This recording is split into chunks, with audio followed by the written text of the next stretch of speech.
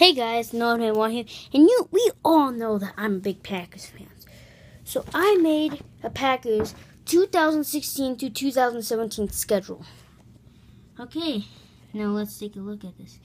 Week one is Packers versus Jaguars. I'm pretty sure they could beat them. Week two, Packers versus Vikings. That's the NFL game that I'm going to live. Week three, Packers versus Lions. They have it in the bag now that um Calvin Johnson's gone. Week four is a bye.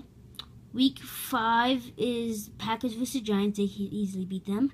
Week six, Packers versus Cowboys. Week seven, Packers versus Bears. Week eight, Packers versus Falcons. Week nine, Packers versus Colts. Week ten, Packers versus Titans. Week eleven, Packers versus Redskins. Week twelve, Packers versus Eagles. Week 13, Packers versus Texans. Week 14, Packers versus Seahawks. Week 15, Packers versus Bears. Week 7, 16, Packers versus Vikings. And week 17, Packers versus Lions. That's the list. Hope you have a great day. Bye.